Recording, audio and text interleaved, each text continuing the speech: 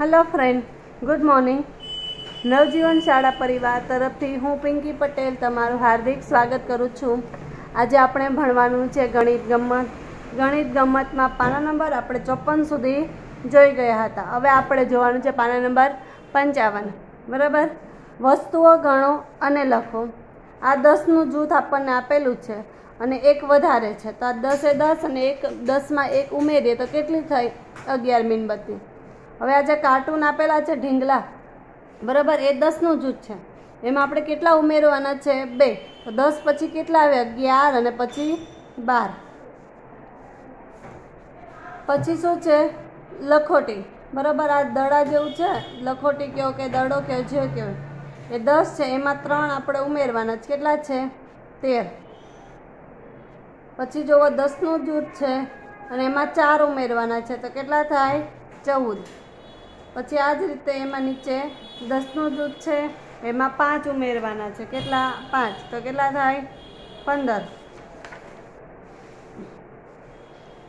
એ જ રીતે પાછળ જુઓ દસનું જૂથ બનાવો અને સંખ્યા લખો. આ કેટલા છે? આપણે ગણવાનું છે, બરાબર? એક, બે, ત્રણ, ચાર, પાંચ, છ, સાત, આઠ, નવ. દસ, અગિયાર, બાર, તેર, ચૌદ, પંદર, સોળ, સત્તર. કેટલા છે? સત્તર. દસનું જૂથ બનાવો. એક, બે ત્રણ, ચાર, પાંચ, છ, સાત, આઠ, નવ, દસ. ફરીથી ગણો. એક, બે, ત્રણ, ચાર, પાંચ, છ, સાત, આઠ, નવ, દસ. બરાબર? આ રીતે. આ રીતે. બરાબર? તો અહીંયા પહેલાં આપણે લખવાના છે કેટલા છે? દસ. પછી અગિયાર, બાર, તેર, ચૌદ, પંદર, સોળ, સત્તર. કેટલા છે? સત્તર. બરાબર? તો દશકમાં એક અને એકમમાં સાત. બરાબર? એવી જ રીતે આ બધી ગણો એક, બે, ત્રણ, ચાર, પાંચ, છ, સાત, આઠ, નવ, દસ, અગિયાર, બાર, તેર, ચૌદ, પંદર, સોળ, સત્તર ને અઢાર. એટલા અઢાર. બરાબર? આપણે દસનું જૂથ બનાવવાનું છે. એક, બે, ત્રણ, ચાર, પાંચ, છ, સાત, આઠ, નવ, દસ.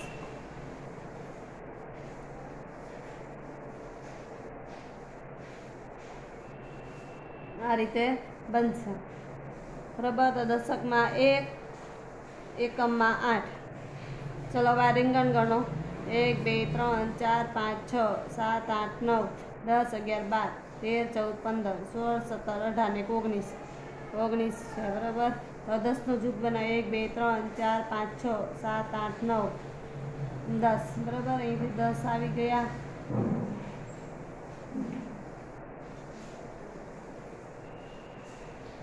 દસ જગ્યાઓ કેટલા છૂટતા કેટલા નાખવાનામાં એક, આમાં નવ. દેખાય છે ને બધાને? ચલો, હવે આ જોવો શું છે. કાકડી કે મરચું શું દેખાય છે તમને? ચલો, આમાં ગણો એક, બે, ત્રણ, ચાર, પાંચ, છ, સાત, આઠ, નવ, દસ. ચલો, આ દસ છે તો આપણે પહેલાં દસનું જૂથ બનાવીએ. બરાબર દસ છે, પછી અગિયાર, બાર, તેર, ચૌદ, પંદર, સોળ, સત્તર, અઢાર, ઓગણીસ, વીસ. આ વીસ છે. તો દશકમાં બે એકમમાં શૂન્ય. બરાબર? હવે એવી જ રીતે આમાં જુઓ એકમ દશક ઓકે? હવે આમાં બાર લખ્યા છે ને, તો આમાં બધામાં આપણે બાર લખી દેવાના છે. એકર બગર બાર, એકર બગર બાર, પછી એકર તગર તેર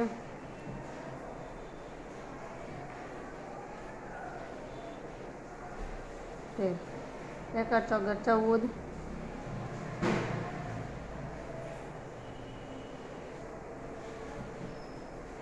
પછી એકર પાછળ. પંદર, એવી જ રીતે. એકમ દશક મેં તમને આગળ પણ શીખવાડી ગઈ હતી.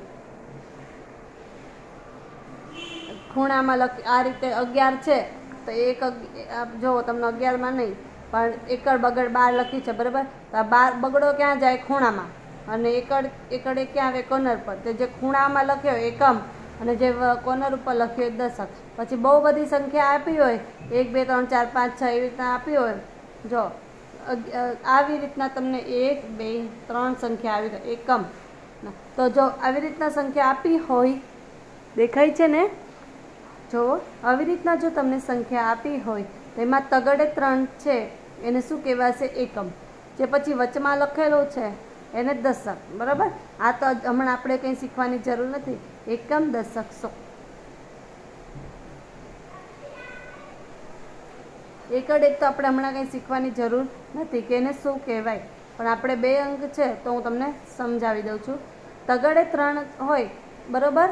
ત્રણ આંકડા, મતલબ બહુ બધી સંખ્યા લખી હોય, તો એમાં જે ખૂણામાં લખી હોય, એને એકમ કહેવાય. વચમાં લખી હોય, એને દશક કહેવાય, બરાબર?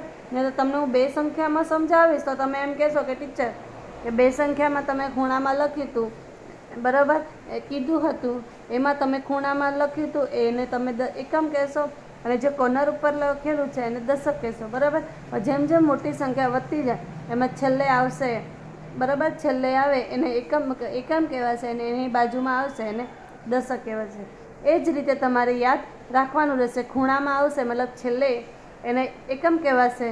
અને જે એકમની બાજુમાં એક્ઝેક્ટ જે સંખ્યા લખી હોય, એને દશક કહેવાશે. બરાબર? હવે એવી રીતે પાછળ જોવો. એકડ છગડ સોળ. એકમ દશકને હું તમને સમજ મેં આપી દીધી છે. હવે તમારે જેમ જેમ તમે મોટા થશો, એમ એમ એનો વધારો પણ એકમ, દશક, સો એવી રીતના વધતું જશે. એકડ સત્તર સત્તર. એકમમાં સાત દશકમાં એક. એટલે એકર સત્તર સત્તર.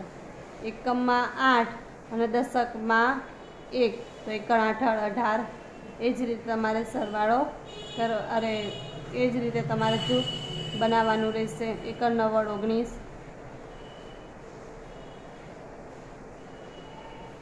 બગડે ને મીંડેવીસ